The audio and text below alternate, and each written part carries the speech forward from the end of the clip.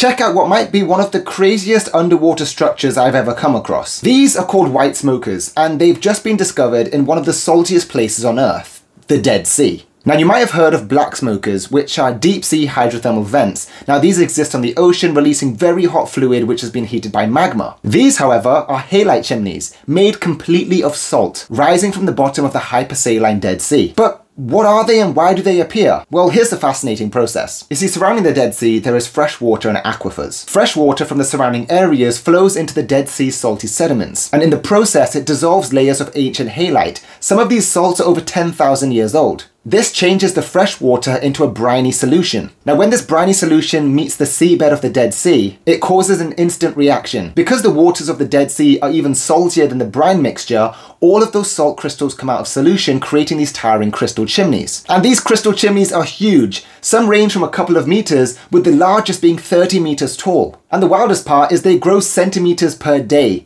It's just insane. Now, as beautiful as these chimneys are, they actually serve as a warning. You see, as this fresh water goes underground and mixes with these ancient halites, they dissolve them, making cavities or voids. And as a consequence, these voids often lead to sinkholes on top of the land. And we're talking about very dangerous wide sinkholes, hundreds of meters across sometimes. So by using remote sensing and monitoring these chimneys, we're able to determine areas where there's no more halite, which could be prone to more sinkholes. So the monitoring of these chimneys could be a way for us to potentially save lives. If you enjoy this kind of content, let me know what your thoughts are in the comments below.